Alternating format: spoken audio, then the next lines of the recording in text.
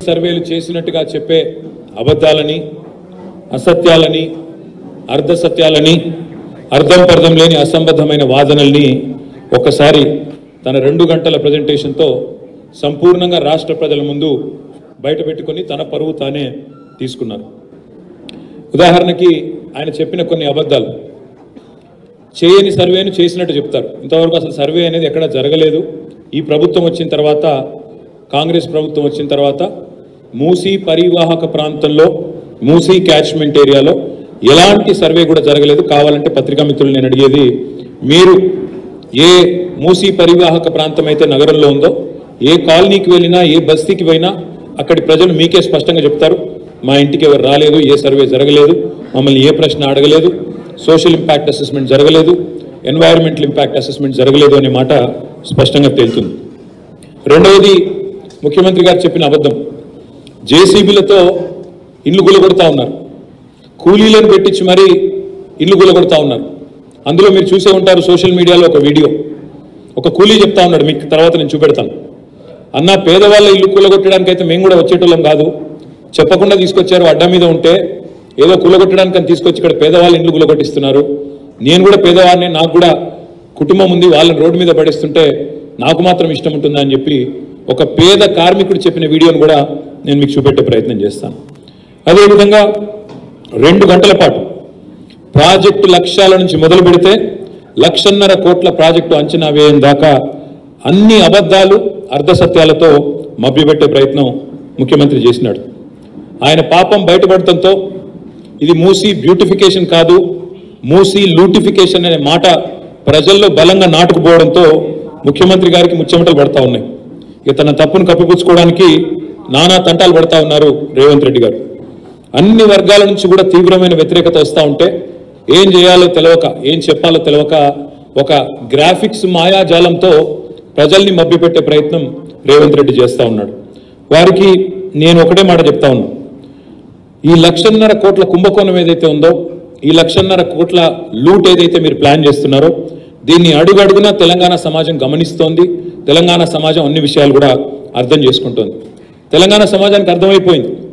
మీరు ఆరు గ్యారంటీలను అటకెక్కించినారు నాలుగు వందల ఇరవై హామీలతో ప్రజల గొంతు కోశారు. అన్ని వర్గాల ప్రజల్ని కూడా మోసం చేసినారనే విషయం అర్థమైంది.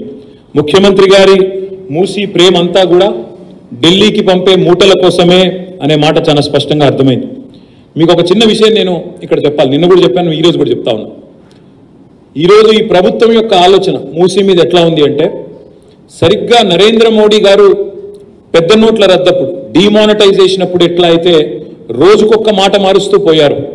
ఈ ముఖ్యమంత్రి కూడా అదే పద్ధతిలో బడేబాయ్ డిమానిటైజేషన్ మీద చెప్పినట్టు చోటేబాయ్ మూసీ మీద కూడా రోజుకొక మాట రోజుకొక వ్యవహారం చేస్తూ ఉన్నారు. ఉదాహరణకి నరేంద్ర మోడీ గారు ఏమన్నారు డిమానిటైజేషన్ అప్పుడు? మొదటి రోజు అన్న మాట నల్లధనాన్ని బయటికి తేవడానికే డిమానిటైజేషన్ అని మొదటి రోజు. కానీ వారం రోజుల తర్వాత నల్లధనం ఒకటే కాదు దేశం మొత్తంలో చలామణి అవుతున్న ఫేక్ కరెన్సీని బయట పెట్టడానికి అని వారం రోజుల తర్వాత కొత్త వాదన. మరొక వారం రోజుల తర్వాత ఒక ఫేక్ కరెన్సీయే కాదు దేశం మొత్తం ప్రబలుతున్న తీవ్రవాదం టెర్రరిజాన్ని అరికట్టడానికి అని మూడవ వాదన. నాలుగో వాదన కాదు కాదు తీవ్రవాదమే కాదు నక్సలిజాన్ని అడ్డుకోవడానికి కూడా డిమానిటైజేషన్ పనికొస్తుందని నాలుగో వాదన. చివరికి ఎక్కడ తీసుకుపోయినారంటే ఫైనల్గా? ఇదంతా కాదు అసలు భారతదేశాన్ని డిజిటలైజేషన్ వైపు నడపడానికే డిమానిటైజేషన్. అంటే రోజొక్క మాట రోజొక్క మాట పూటకో మాట. ఎందుకంటే అసంబద్ధమైన ఆలోచనతో తీసుకున్న ఏ నిర్ణయమైనా అనాలోచితంగా తీసుకున్న ఏ నిర్ణయమైనా దాని పర్యవసనాలు దారుణంగా ఉంటాయని చెప్పడానికే పెద్ద నోట్ల రద్దు వ్యవహారాన్ని కూడా నేను మీకు గుర్తు చేస్తాను అదే పద్ధతుల్లో ఈరోజు మరి రోజుకొక్క మాట ముఖ్యమంత్రి రేవంత్ రెడ్డి కూడా మాట్లాడుతూ ఉన్నాడు. ఏం మాట్లాడుతున్నారు రేవంత్ రెడ్డి గారు? ఒకరోజేమో మొట్టమొదట మొదటి పెట్టింది ఆయన. మూసి సుందరీకరణ అనే మాట మొట్టమొదలు వాడిందే రేవంత్ రెడ్డి. గోపనపల్లిలో లక్షన్నర కోట్ల రూపాయలతో మూసి సుందరీకరణ చేస్తాం అని చెప్పిన వ్యక్తే రేవంత్ రెడ్డి. కానీ వాళ్ళు ఆయన ఒక అపరిచితుడిలాగా మారిపోయినాడు. నేను అంటున్నాడు ఆయన ప్రెస్ మీట్లో. అసలు సుందరీకరణ అన్న మాట ఎక్కడి నుంచి వచ్చింది? సుందరీకరణ అన్న మాట ఎక్కడి నుంచి వచ్చింది? చూపెడతాను. ఆ వీడియో కూడా మీకు చూపెడతాను. రేవంత్ రెడ్డి గారి నోరులోంచి జాలు వారిన ఆనిముత్యాలు కూడా మీకే చూపెడతాను. లక్షన్నర కోట్లు ఎవరన్నారు అంటాడు. లక్షన్నర కోట్లు అన్నదే ఈయన. కాబట్టి అవన్నీ కూడా మీకు చూపెడతాను. రేవంత్ రెడ్డి గారు కూడా రోజు ఒక్క మాట మాట్లాడుతున్నారు మూసి విషయంలో. ఒక రోజు అంటారు సుందరీకరణ. మరొక రోజు అంటారు ప్రక్షాళన. మరొక రోజు అంటారు పునరుజ్జీవం రీజువనేషన్.